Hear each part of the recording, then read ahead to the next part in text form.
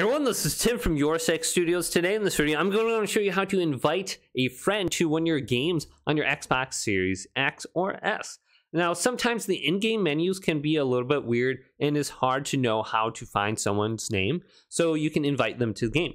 But on the Xbox, there is a system level invite to a specific person. So all you have to do is press the Xbox button and then go on over to people and then select A on this and then scroll on down to the person that you want to go ahead and invite.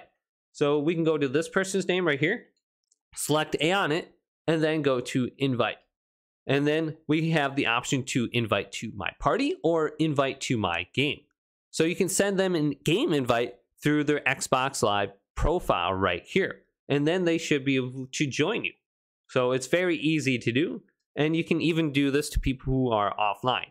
Now, sometimes this will be grayed out some games not may not support this, but others will. So you'll have to just double check when you go to their name and see if it's grayed out or not. But hopefully this quick little video did indeed help you out. If it did, leave it a big thumbs up and subscribe to my channel down below for more tech help videos coming up next on Your Six Studios.